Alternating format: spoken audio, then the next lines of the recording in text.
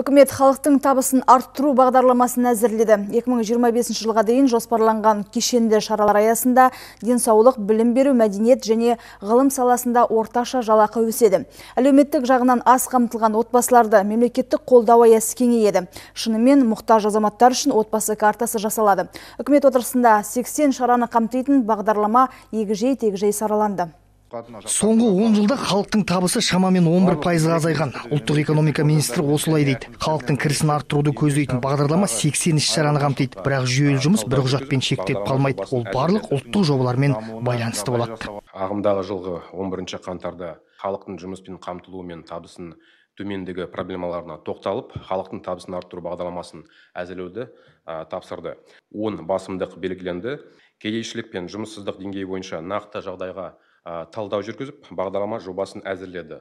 Бағдарлама аясында кадрларды алдын ала дайындау үшін өмір жолдамасы атты жоба іске асырылады. Алдағы төрт жылда екі миллион жаңа жұмыс орнын ашу көзделген. Үкімет басшысы бағдарлама жүйелі индустрияландыру экономиканы әртараптандыру және кәсіпкерлікті дамыту арқылы жүзеге асырылады деді. Жеке үй шаруашылықтарын дамыту инвестициялық жобаларды іске асыру микрокредит беру ауыл тұрғындарын жұмыспен қамтып табысын арттыруға ықпал ететін болады.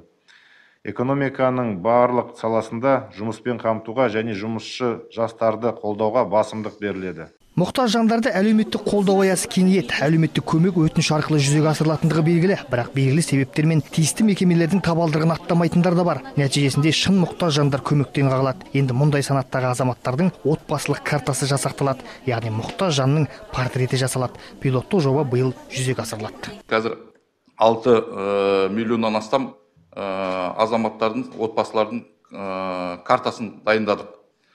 Осы шеңберде осы жүйе өзі олардың жұмыс істеу жұмыс істеп жатқаны немесе оның тұрғын үйін бары жоғы жағдайын барлығын жүйе анықтап бізге көрсетеді. Сол азаматтарға ендігі жерде өзіміз барып выявительный характер өзіміз барып осы әлеуметтік көмек көрсетуді жоспарлап отырмыз. Еліміздің барлық өңірінде әйелдерді қолдау орталықтары ашылады. Мұнда жыл сайын жиырма мыңға жуық нәзік жандыларға қолдау көрсетіледі. Сонымен қатар жастарды жұмысқа баулу мен ынталандыру үшін заңнамаға жас жұмысшы ұғымы енгізіледі. Олар үшін сынақ мерзімі алынып тасталады.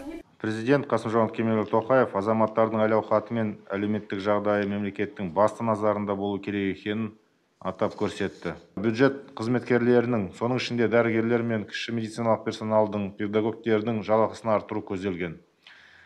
Бұған қоса еңбек табысының айырмашылығын қысқартуға және халықтың сатып алу қабілетін арттыруға көңіл бөлінеді.